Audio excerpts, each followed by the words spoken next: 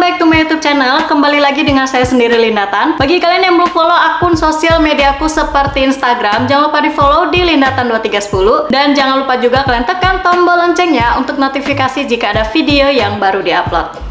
Oke di video kali ini sesuai dengan judulnya, kali ini saya akan sharing ke kalian tentang hasil pemakaian mixing skincare debut dengan skincare aku yang branded lainnya. Dan juga di sini saya akan sharing ke kalian bagaimana kondisi wajah aku saat ini setelah saya tidak memakai skincare debut lagi. Oke okay guys, jadi ini dia hasilnya setelah saya mixing skincare debut dan juga skincare branded lainnya.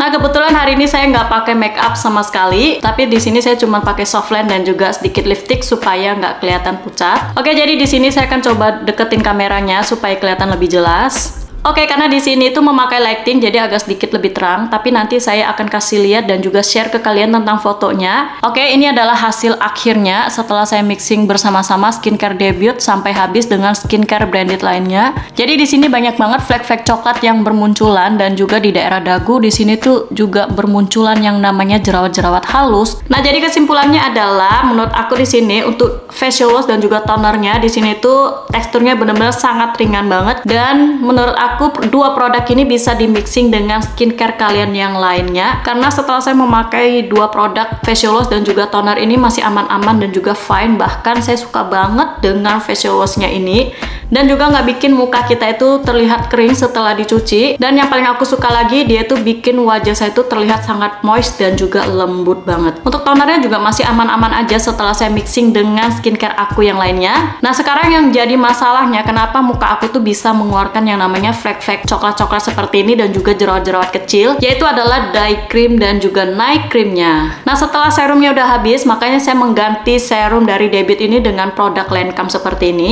Oke di sini saya mix mixing untuk serum dari Lancome-nya di malam hari dan juga saya memakai krim night creamnya. Seperti ini saya udah pakai habis. Muka saya sih masih fine-fine aja ya walaupun uh, mulai bermunculan kayak flek-flek coklat tapi nggak kemerah-merahan dan juga nggak perih sama sekali. Bahkan di sini juga saya sempat uh, selang-seling juga memakai DNA salmonnya tapi juga nggak ada efek sama sekali. Dan kelihatannya masih tetap sama aja flek-flek coklatnya juga nggak hilang sama sekali dan juga tetap masih stay di wajah aku bahkan bikin muka aku tuh kayak tambah lebih banyak flek-flek coklatnya. Nah sedangkan untuk dye creamnya saya tuh memakai serum dari Lancome ini seperti ini ya di siang hari dan juga dye creamnya. Dan saya nggak memakai produk DNA Salmon lagi jadi fokusnya cuma dua produk ini aja. Tapi muka saya tuh uh, bermunculan yang namanya banyak banget jerawat-jerawat kecil apalagi di daerah dagu dan juga pipi. Pokoknya untuk dye creamnya ini nggak cocok untuk di mixing dengan skincare yang lainnya guys. Jadi saya saranin ke kalian untuk fokus dengan satu produk ini aja. Tapi kalau untuk facial wash dan juga tonernya masih aman-aman aja ya. Oke okay guys ini adalah kondisi wajah aku. Setelah satu minggu saya tidak memakai skincare debut lagi.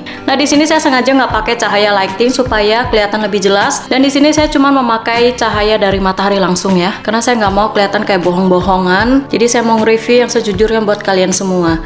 Nah dari sini setelah saya tidak memakai skincare debut lagi, warna skin tone kulit aku tuh kayak semakin belang dan juga udah nggak kelihatan glowing seperti saya memakai skincare debut ya guys.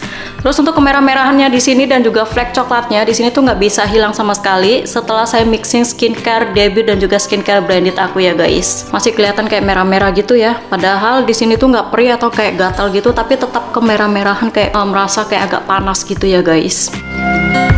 Oke, jadi di sini kesimpulannya adalah kalau skincare debut ini nggak bisa bikin wajah kita itu tetap glowing kalau kita mengganti skincare yang lainnya kalau kita merasa bosan. Jadi bagi kalian yang pengen banget mempunyai wajah tetap glowing, jadi kalian tetap harus fokus untuk memakai skincare debut aja, nggak boleh diganti atau di mixing dengan skincare yang lainnya. Oke, jadi di sini itu baru satu minggu loh saya nggak memakai skincare debut dan kelihatan jelas banget ya, udah kayak kelihatan uh, warna kulitnya itu udah nggak glowing lagi dan kelihatan sangat kusam juga. Tapi yang jelas di sini adalah saya pengen banget sharing ke kalian gimana sih kulit kita kalau kita udah nggak memakai skincare debut lagi. Jadi kira-kira seperti ini ya guys. Saya nggak tahu kenapa, apakah pengaruh dari serum dan juga night creamnya. Karena menurut aku untuk night creamnya itu bener-bener kayak booster mencerahkan wajah kulit kita dan juga menghaluskan wajah kulit kita di malam hari gitu guys. Sedangkan untuk dye creamnya saya memang katakan dari awal kalau untuk dye creamnya itu saya bener-bener nggak cocok sama sekali. Oke demikian review kali ini tentang mixing skincare debut dan juga skincare branded lain lainnya. Nah, bagi kalian yang mempunyai pengalaman yang sama, kalian juga boleh sharing-sharing dan juga cerita di kolom komentar di bawah ini. Jangan lupa kalian subscribe dan sampai jumpa lagi di channel gue yang selanjutnya yang pastinya saya akan mereview produk yang sesungguhnya buat kalian tanpa harus diedit dan juga di endorse sama sekali. Sampai jumpa lagi and God bless you.